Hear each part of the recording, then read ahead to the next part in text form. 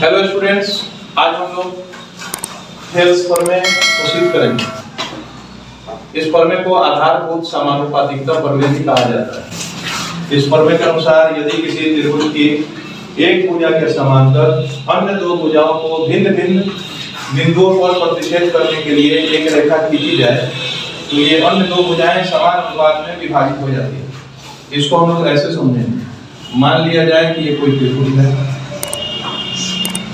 इसका नाम दे दिया ए बी सी इस भुजा के समांतर कोई रेखा खींची जाए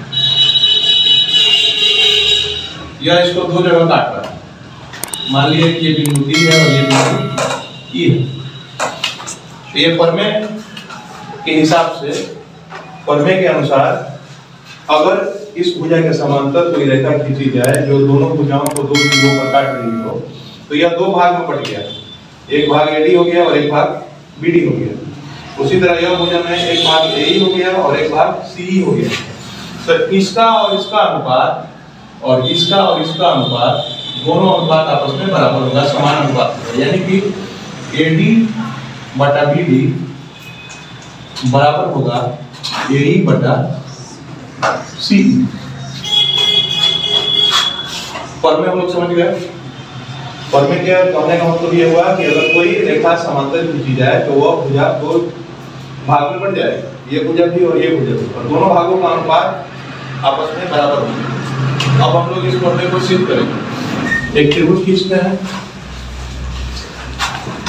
इसका नाम दे देते हैं ए बी सी फॉर्मूले के अनुसार कह रहा है कि एक समांतर रेखा खींची जाएगी इस भुजा में। एक समांतर रेखा हम खींच सकते हैं इसका नाम दे देते हैं बी ई। अब हम लोग सबसे पहले गिवन लिखेंगे गिवन फिर एक इसी में। डी, ई। पैरेलल है, यानी समांतर है किसके? बीसी के। ये गिवन हो गया। अब हम लोग को प्रूफ करना है। टू प्रूव कि इसका और इसका अनुपात यानी एडी बटा बीडी बराबर होगा ए बटा सी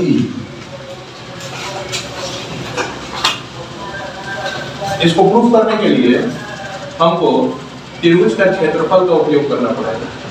त्रिभुज का क्षेत्रफल निकालने के लिए लंब डालना पड़ेगा। यानी कि यहाँ पर कुछ रचना करना पड़ेगा अपने तरफ़ से। हम उसको कंस्ट्रक्शन में लिखेंगे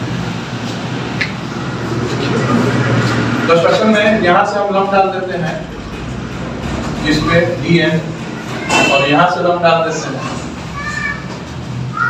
ई एन सी डी को मिला देते हैं, और ई डी बी को मिला देते हैं। यहाँ पर क्वेश्चन लिखेंगे डी एन लंब ए सी ई एन लंब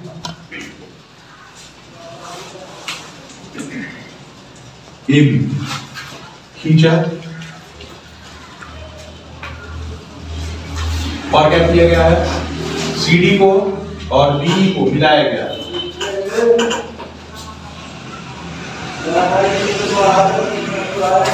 आगे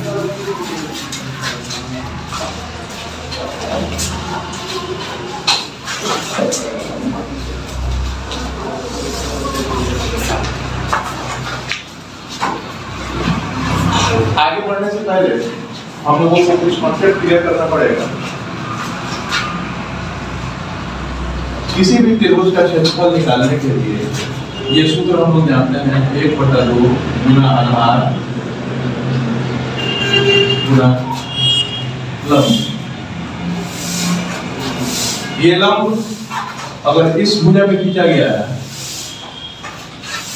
तो ये लंब हो गया और जिसको खींचा गया है, उसको आधार माना जाएगा।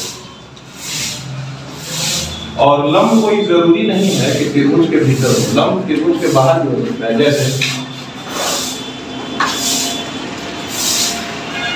यहाँ से अगर लंब डालना हो,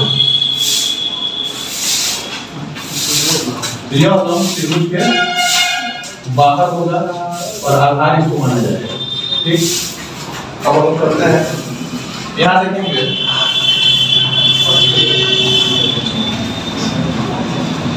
त्रिभुज ए डी ई ऊपर एक त्रिभुज बन रहा है बटा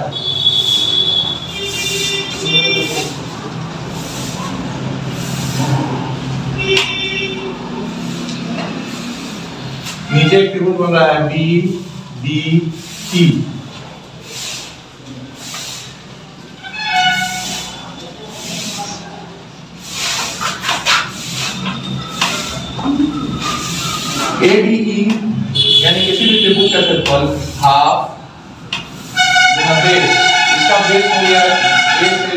से लेकर D तक AD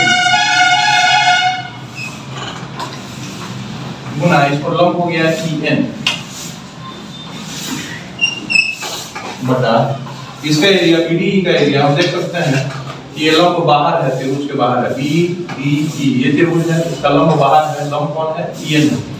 और बेस तब इसको मानेंगे किसको? बीडी तो हाफ़ इंटू बेस बेस हो गया बीडी इंटू लंब लंब हो गया आपका ई एन इस प्रकार हाफ़ से हाफ़ कैंसिल हो गया ई एन से ई एन कैंसिल हो गया तो हमें प्राप्त हुआ area AD upon area BD बराबर ए डी बटा बी इसको हम इक्वेशन वन मान लेंगे। डी ई अपॉन अभी साइड चलेंगे एरिया सी डी ई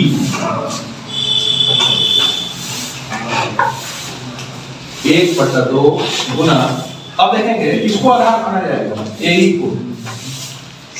तो लंब हो जाएगा हमारा डीएन एक बटा दो गुना आधार गुना, लंब आपका हो गया डी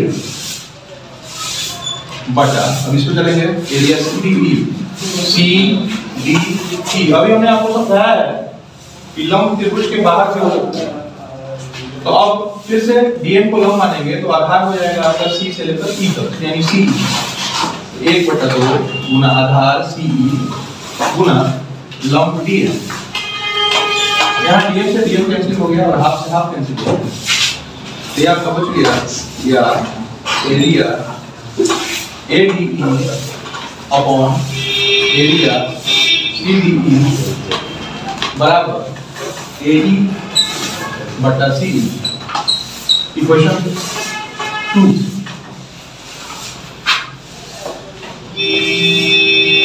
अब हम लोग देखेंगे नाइन्थ क्लास में हम लोगों ने पढ़ा है कि अगर समान आधार और एक ही समांतर रेखाओं के बीच जो त्रिभुज स्थित होते हैं, जैसे देखा जाए। एक ये त्रिभुज है।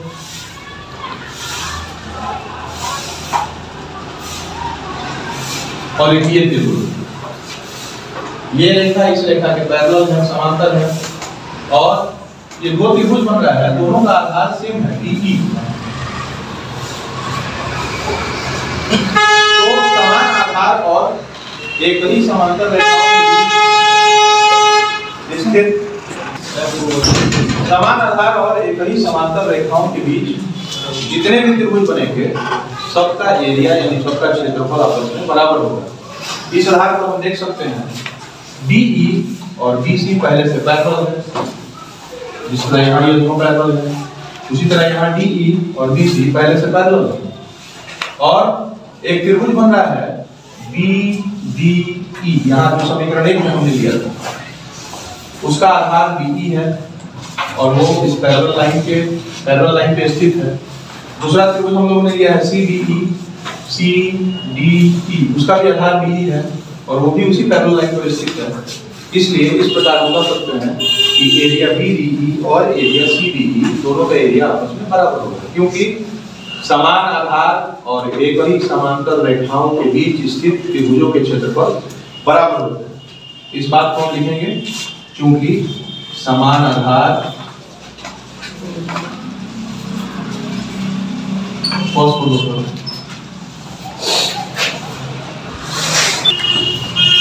जैसा कि हमने आपको बताया क्योंकि समान आधार और एक ही समांतर रेखाओं के बीच स्थित त्रिभुजों के क्षेत्रफल बराबर होते हैं, इस आधार पर एरिया BDE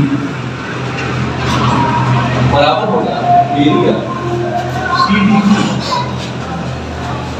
equation third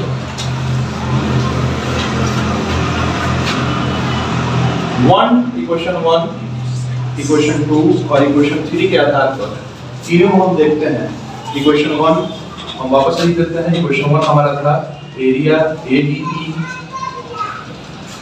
बटा एरिया बी डी ई बराबर ए डी अपॉन बी